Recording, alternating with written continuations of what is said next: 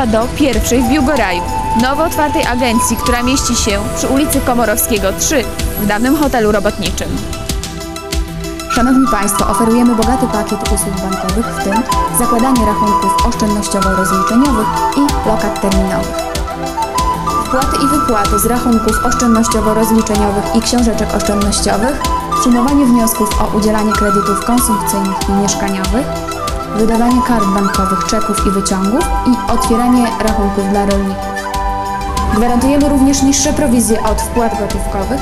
Na przykład prowizja za telefon komórkowy wynosi jedynie 3 zł oraz proponujemy Państwu sprzedaż znaczków opłaty skarbowej. W ramach naszych usług proponujemy również Państwu ubezpieczenia w Towarzystwie Ubezpieczeniowym Unika.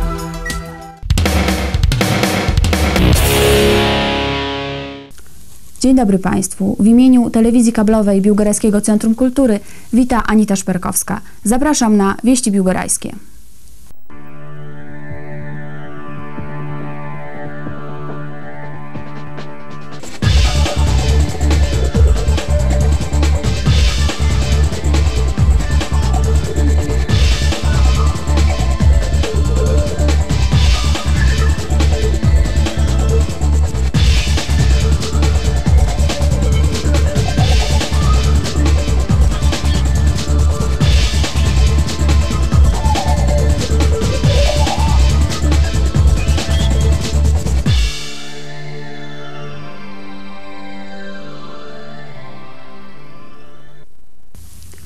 Nie bez kłopotów, ale jednak budżet miasta na rok 2004 został uchwalony w ostatnim dniu przewidzianym przez ustawę, czyli 31 marca.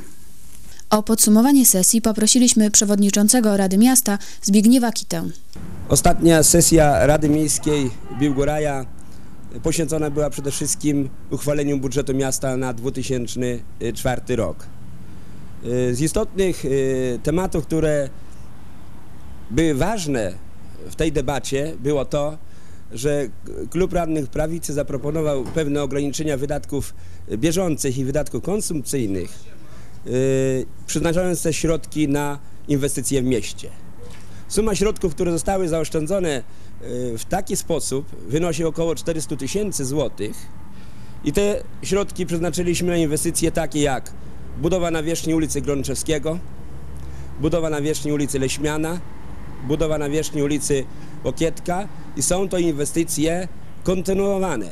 Na tych ulicach do tej pory zrobione jest okrężnikowanie i podbudowa. Chcemy, aby przyjezdność na tych ulicach była pełna, czyli wykonana została nawierzchnia skot- kostki brukowej. Dodatkowo przeznaczyliśmy środki na projekt techniczny ulicy Tuwima, okrężnikowanie podbudowy i oświetlenie ulicy Puszcza Solska, oraz wsparliśmy dodatkowo zespół ludowy TANEF, jak również rozwój y, sportu biłgorajskiego w formie budowy boisk sportowych przy szkole, zespole szkół miejskich y, numer 3 w Biłgoraju. Myślę, że to działanie Rady to jest konsekwencja działania w poprzednich latach, y, polegająca na tym, że szukamy wszelkich możliwych środków w budżecie, aby rozwój miasta y, zwiększyć, przez to zwiększyć y, w mieście. Jestem przekonany, że nikt z mieszkańców na takie rozwiązanie narzekał nie będzie. W imieniu własnym i całej Rady Miejskiej życzę mieszkańcom Biłgoraja, aby y, z tych inwestycji, które żeśmy uchwalili, już w tym roku moglibyśmy wszyscy korzystać. Dziękuję. Dzień po środowej sesji poprosiliśmy burmistrza miasta Biłgoraja Janusza Rosłana o komentarz. Panie burmistrzu, wczoraj na 23 sesji Rady Miasta radni uchwalili najważniejszą uchwałę, czyli budżet miasta. Czy mógłby Pan skomentować? Pani redaktor, jeżeli chodzi o komentarz do wczorajszej sesji, to wystarczająco dużo powiedziałem podczas obrad i dzisiaj nie chciałbym już y, komentować tych wydarzeń, które miały miejsce w dniu wczorajszym. Natomiast mogę powiedzieć, że dobrze się stało, że Biłgoraj ma budżet uchwalony przez radnych, a nie przez Regionalną Izbę Obrachunkową, bo taka groźba nad nami wisiała. Przypomnę, że 31 marca jest ostatnim ustawowym dniem, w którym można taką uchwałę podjąć. Ale do godziny 24, czyli do tej ostatecznej godziny, zostały y, jeszcze dwie godziny. Y, budżet uchwaliliśmy o godzinie 22, także jeszcze dwie godziny przed ostatecznym czasem y, przewidzianym na podjęcie takiej uchwały. Natomiast z jednej strony cieszę się oczywiście, że, że, że będę mógł realizować wiele inwestycji, ale mam pewne obawy dotyczące funkcjonowania Biłgorajskiego Centrum Kultury i Urzędu Miasta. Zredukowanie przez radnych środków na działalność bieżącą Biłgorajskiego Centrum Kultury może grozić tym, że pewne imprezy duże, które y, Centrum Kultury planowało zorganizować w 2004 roku, po prostu nie dojdą do skutku. A no, nonsensem byłoby, gdybyśmy powiedzmy zabezpieczyli wyłącznie pracę pracowników, a nie zabezpieczyli środków na y, działalność bieżącą, czyli na imprezy, no bo działalność takiej instytucji miałaby się z celem. Y, Niemniej jednak pan przewodniczący Kita no, podkreślał zawsze, że burmistrz jest człowiekiem sprytnym, za co mu osobiście bardzo dziękuję, że tak mnie postrzega. No i będę robił wszystko, żeby jednak pewne środki zabezpieczyć i żeby ta działalność kulturalna, która w mieście no, ch- chyba ma w tej chwili inny charakter niż miała jeszcze kilka lat temu, żeby była również na wysokim poziomie. Mam również pewne obawy co do funkcjonowania Urzędu Miasta. Niestety y, nie zostały przyznane y, środki na wymianę centrali telefonicznej i sieci komputerowej, która już od pięciu czy sześciu lat czeka na realizację, ale po prostu musimy sobie z takim budżetem radzić. Na pewno podkreślę to, co powiedziałem na początku. Ważnym y, jest, że ten budżet został uchwalony przez Radę, a nie przez Regionalną Izbę Obrachunkową.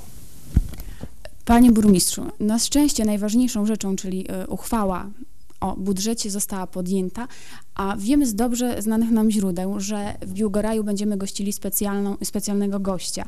Czy mógłby nam Pan powiedzieć, kto to będzie i kiedy przyjeżdża? No, przyciska mnie pani do muru. Yy, Rzeczywiście w urzędzie czuć taką atmosferę napiętą. Yy, Przygotowujemy się ze wszystkich yy, stron do tego, aby no, przyjęcie tego gościa było na odpowiednim poziomie, aczkolwiek jest to zadanie trudne i dla nas, i, i dla yy, policji yy, powiatowej, ponieważ Y, Spodziewamy się 31 kwietnia przyjazdu y, prezydenta Rzeczypospolitej, pana Aleksandra Kwaśniewskiego. Tyle mogę na razie na ten temat powiedzieć. Natomiast jaki będzie, jaki jest cel wizyty, o czym będziemy rozmawiać, y, to dopiero w późniejszym terminie będziemy mogli porozmawiać o szczegółach. Dziękuję bardzo za rozmowę. W Prima Aprilis całkiem na poważnie szóstoklasiści zdawali swój pierwszy w życiu egzamin. Niezależnie od jego wyniku, każdy z absolwentów szkoły podstawowej ma zagwarantowane miejsce w najbliższym gimnazjum. Egzaminy rozpoczęły się o godzinie 9. Sprawdzianu nie można nie zdać, a wynik ma znaczenie tylko informacyjne. Muszą jednak do niego przystąpić wszyscy szóstoklasiści. A jak przed samym egzaminem czują się uczniowie? Denerwuję się tak bardzo. To tylko, bo nie biorą pod uwagę egzaminu yy, no, do wzięcia do tego, do gimnazjum.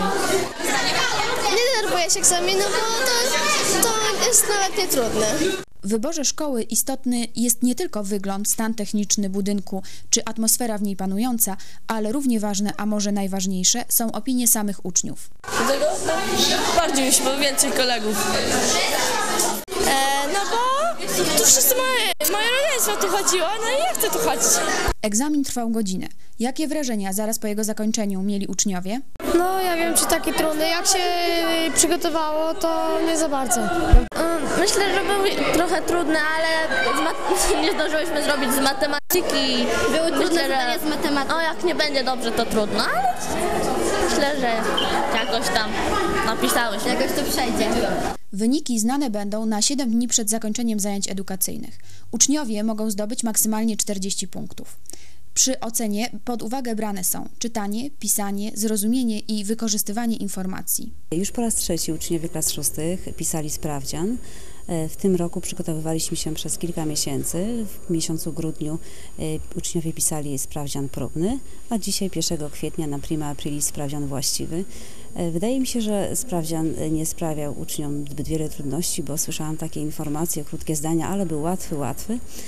Teraz oczekujemy na wyniki, będą one podane w miesiącu czerwcu i myślę, że i tym razem szkoła będzie miała dosyć wysoką średnią.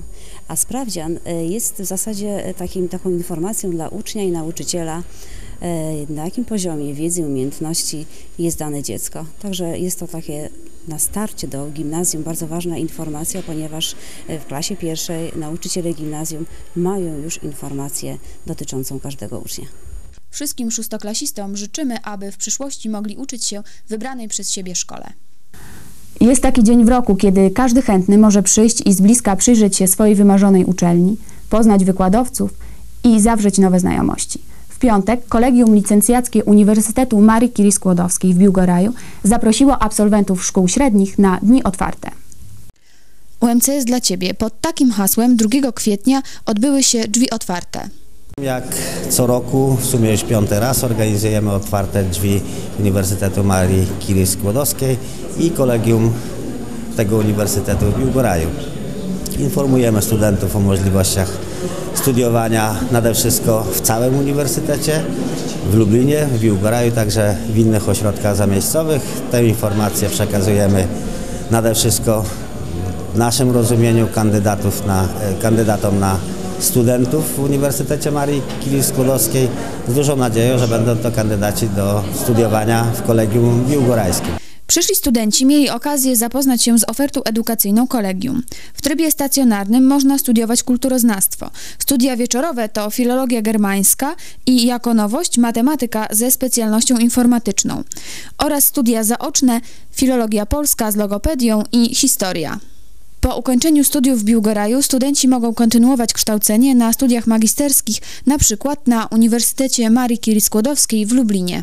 Zainteresowani uczniowie pytają się najczęściej o matematykę z informatyką i o języki, filologię germańską. Najczęstsze pytania to, czy są trudne egzaminy, e, ile jest zajęć, w jakim wymiarze i co można robić po tych studiach.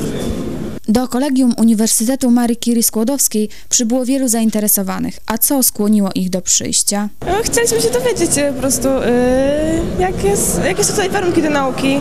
Chcieliśmy obejrzeć pracownię i tak się ogólnie dowiedzieć, ogólna informacja ogólna o uczelni. No, dos- zebrałem bardzo dużo cennych informacji o kierunkach studii tutaj w Lublinie właśnie. Chciałyśmy właśnie zobaczyć, jakie są tu kierunki na tej uczelni i może spróbować tutaj się dostać jakoś. Dowiedzieć się czegoś o tej, o tym kolegium, o tej uczelni. Jest to jedyna państwowa wyższa uczelnia w mieście.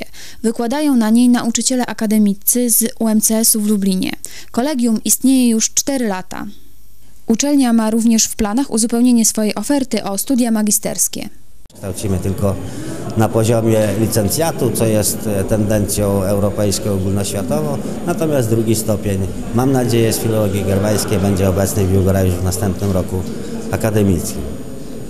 I ta nadzieja towarzyszy mi przez cały czas pracy w kolegium, że droga do nie tylko Krakowa, Warszawy i Lublina, a także Brukseli i Paryża wiedzie przez kolegium w Biłgoraju. Dni Unii Europejskiej zorganizował w tym tygodniu samorząd uczniowski Gimnazjum nr 1. Uroczystości odbywały się pod hasłem Zdrowy Polak, zdrowy Europejczyk. W tym roku w ramach Dni Samorządności Uczniowskiej w Gimnazjum nr 1 zorganizowano Dni Unii Europejskiej. W przededniu naszej akcesji do Unii uczniowie wykazali się wiedzą o kulturze krajów zrzeszonych w niej.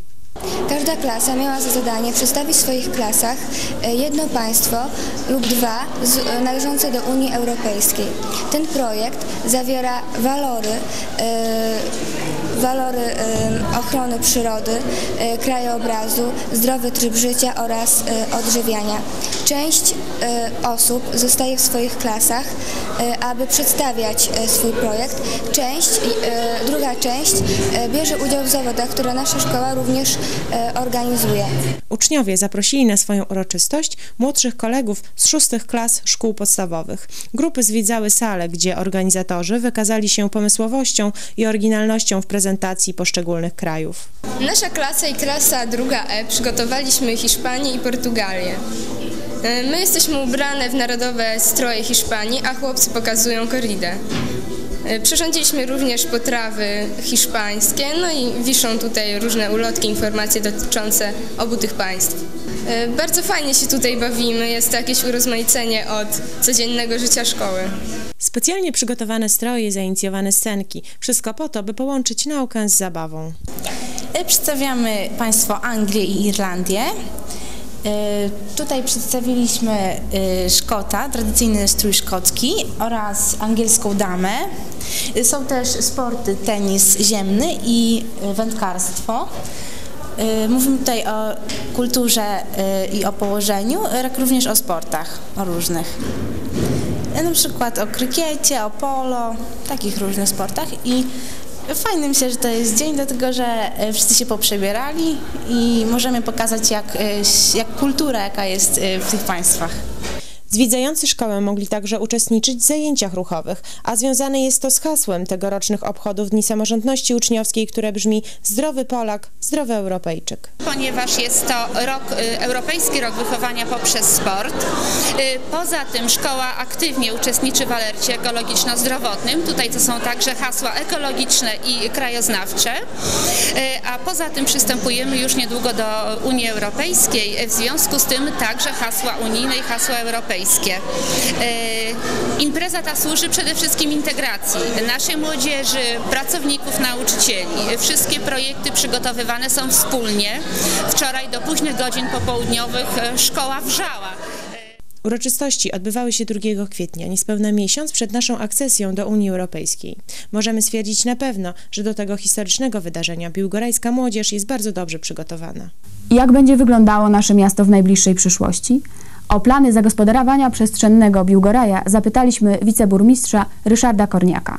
Na sesji 17 marca Rada Miasta przystąpiła do zmiany do studium uwarunkowań do planów miejscowych. Dotyczy to m.in. zagospodarowania Doliny Białej Łady.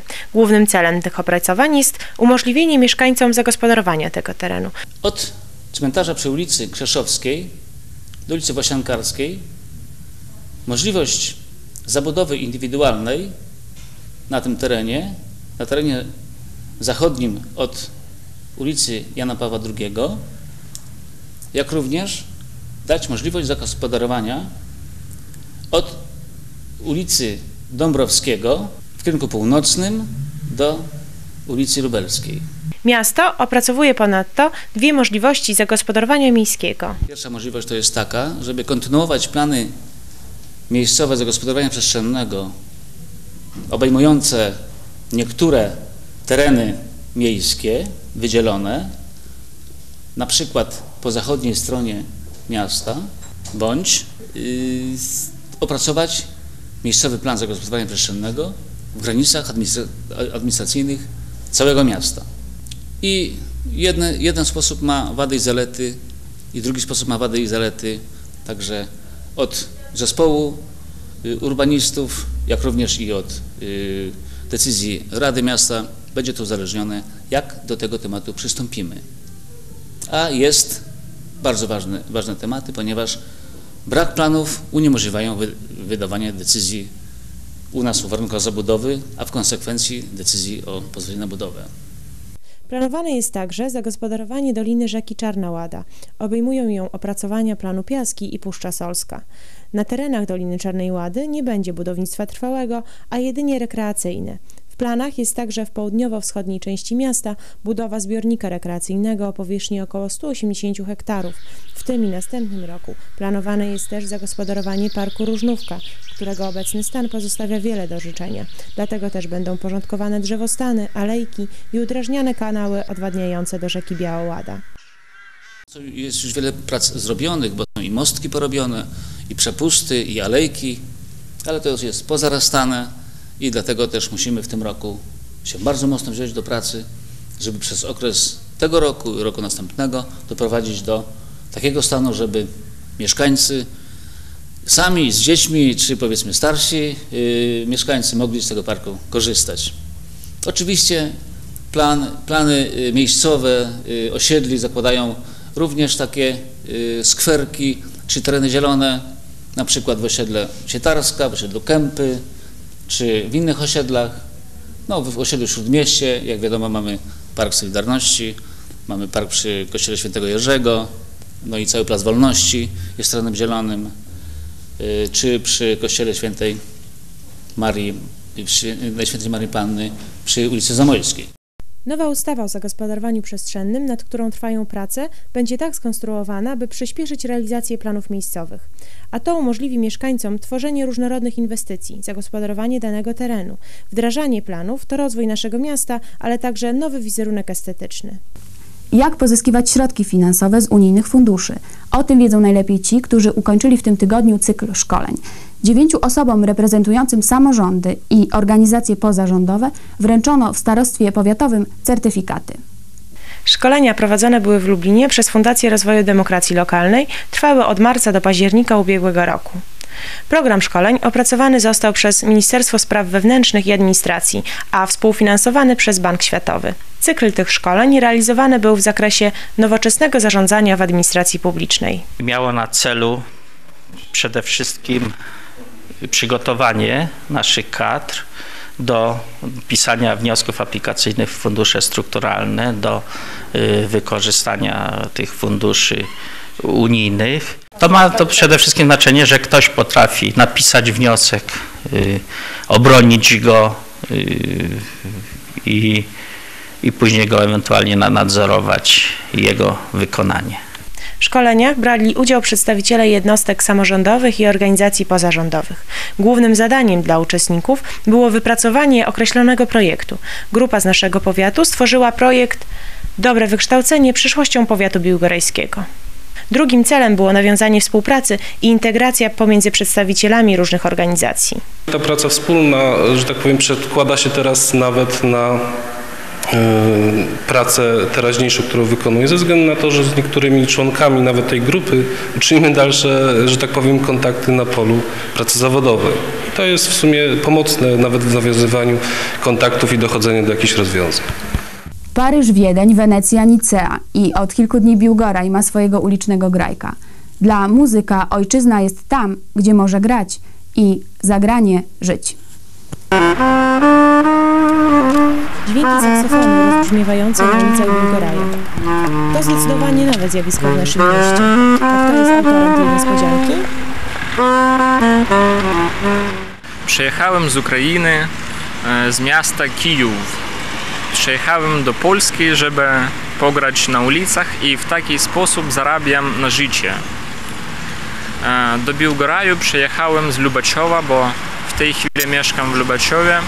E, tutaj mi się podoba, jest bardzo fajne miasto i uda się mi tu dobrze robić.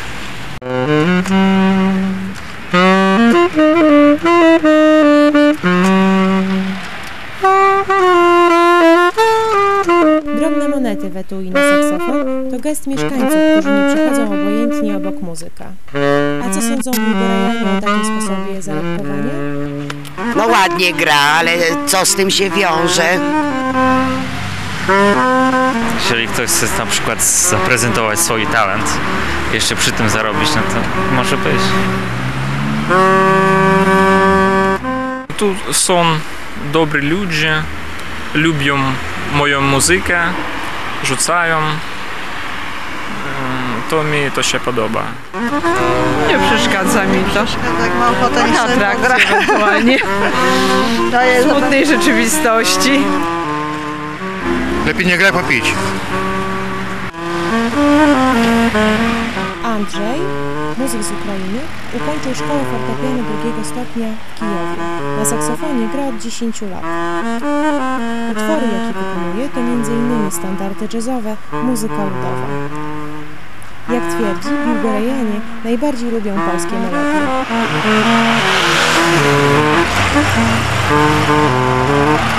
A jakie ma plany związane z Biłgorajem? Mam zaproszenie do grania w orkiestrze tutaj. Jeżeli się uda załatwić mieszkanie tu tam, bo ja już szukam i nie mogę znaleźć nic, to będę grał. A teraz zapraszam Państwa na informator kulturalny.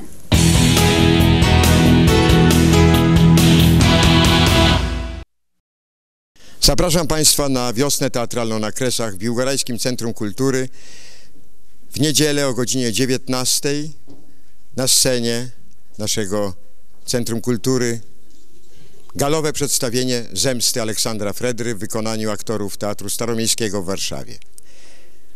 Kto z Państwa chciałby w sobotę obejrzeć ten spektakl, musiałby się udać do Tomaszowa. Tam o godzinie 18 ten spektakl będzie grany również. Proszę Państwa, Aleksander Fredro, jego komedia, wprawdzie mamy Wielki Tydzień, ale Niedziela Palmowa jest jedynym radosnym y, dniem w czasie trwania Wielkiego Postu. Myślę, że ta mała refleksja nad zgodą narodową, bo o tym jest przecież ta sztuka. Jest o dwóch kłócących się Polakach, którzy w rezultacie dochodzą do porozumienia. W sposób zabawny, piórem Aleksandra Fredry. Zapraszam Państwa serdecznie w imieniu własnym, jako aktora tego przedstawienia, w imieniu wszystkich kolegów z Teatru Staromiejskiego oraz w imieniu naszych gościnnie na scenie Biłgorajskiego Centrum Kultury w tym przedstawieniu grających aktorów, amatorów z Teatru Piosenki i Poezji przy Biłgorajskim Centrum Kultury. Wieczorem również gościnnie wystąpi zespół tańca ludowego Tanew. Niedziela, godzina 19, Biłgorajskie Centrum Kultury. Bilety nie są drogie, 15 zł od osób dorosłych, 10 zł dla młodzieży. Oczekujemy Państwa w niedzielny wieczór na, myślę, sympatycznej i refleksyjnej zabawie. Dziękuję bardzo. Proszę Państwa, jest już w kiosku ten numer Tanbi. Kwietniowy numer Tanbi. Drugi z kolei jako miesięcznik. Pierwsza jego strona, strona ostatnia z reklamą. Kolorowe również są wewnętrzne strony okładek. Kolor także jest zróżnicowany w środku. Jest kolor biały i kolor żółty. Na kolorze żółtym jest tak zwany dodatek samorządowy. O czym piszemy? Pieróg na unijnym stole. Pieróg Biłgorajski, rozmowa z Henrykiem Wójcem. Pozyskaliśmy nowego, bardzo ciekawego współpracownika, ksiądz profesor Tadeusz Bus, profesor filozofii Katolickiego Uniwersytetu Lubelskiego. Rozmawiamy z nim w kontekście Wielkiego Postu i Wielkanocy.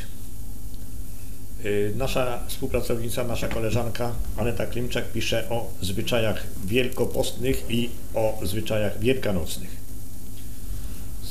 Inny nasz współpracownik, Isztwan Grabowski, dziennikarz Słowa Podlasia, rozmawia z Bogusławem Kaczyńskim, zresztą urodzonym w Białej Podlaskiej. Stefan Schmidt rozmawia z reżyserem filmu Motur, który Państwo kojarzą, z reżyserem Wiesławem Paluchem. Piszemy o Unii Europejskiej. To akurat teksty dealera Volkswagena ze Stalowej Woli. W humorystycznym tonie piszemy o historii Łady i stałą rubryką jest felieton. Pełnym przekonaniem zapraszam do lektury tego numeru Tanwi.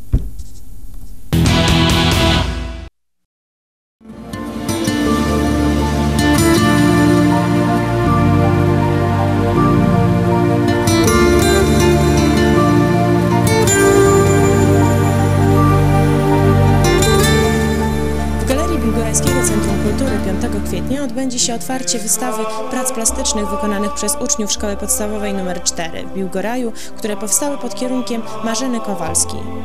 Na wystawie znajdziemy tkaniny artystyczne z cyklu Nasze drzewa ruszają świat i eksperymenty materiałowo-techniczne z cyklu Marzanki powabne Nie wszystko złoto, co się śmieci. Autorzy prac stwierdzili, że tworzywem dla współczesnego plastyka może stać się prawie wszystko. Tradycyjne płótno, drewno obok płyt metalowych, gipsu, piasku, tłuczonego szkła, sznurka, drutu czy szmata, a czasami nawet funkcję tworzywa pełni tzw.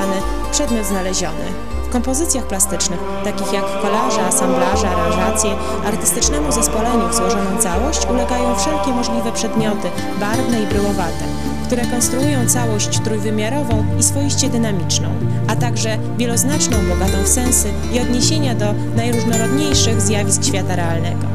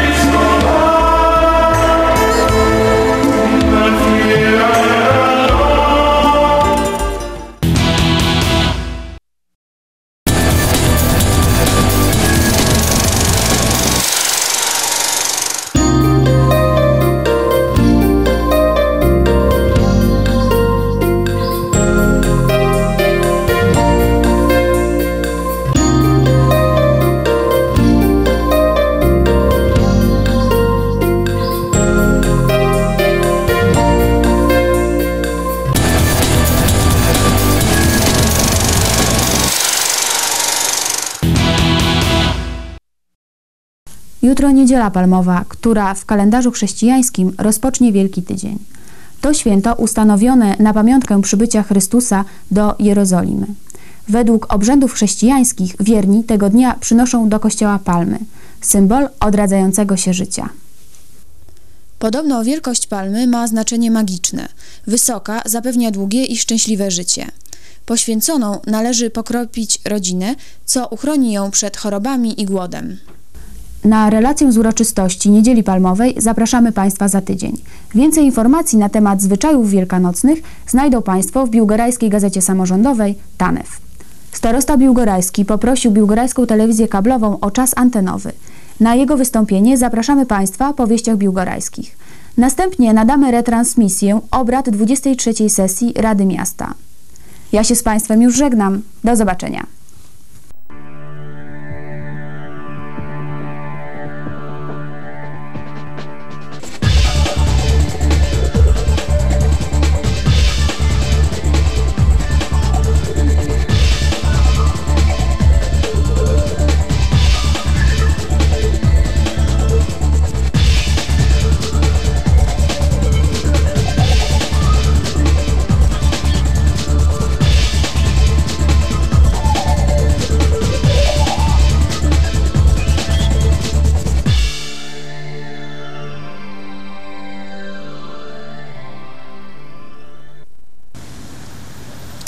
Szanowni mieszkańcy Biłgoraja i ziemi biłgorajskiej, rok 2004 został ogłoszony rokiem y, polskiego państwa podziemnego. Y, w tym też roku przypada 60. rocznica powstania Armii Krajowej, bitwy pod Osuchami czy powstania warszawskiego. Y, stoimy przed budynkiem starostwa. Tutaj mieścił się areszt w tej części budynku areszt Urzędu Bezpieczeństwa. Y, tutaj mordowano i torturowano ludzi przez władze komunistyczne. Y, Zarząd Powiatu Biłgorajskiego wychodzi z inicjatywą, aby na tym budynku umieścić tablicę upamiętniającą tych pomordowanych i torturowanych. Dlatego też zwracamy się do społeczeństwa powiatu biłgorajskiego o możliwe kontakt w sprawie umieszczenia tej tablicy i sugestie yy, na ten temat. Z takim apelem też zwracamy się do nauczycieli szkół, historyków, w naszym powiecie, aby tę rocznicę uczcić i zapisać w historii dla naszych następnych pokoleń. Zainteresowanych bardzo prosimy o kontakt ze starostwem.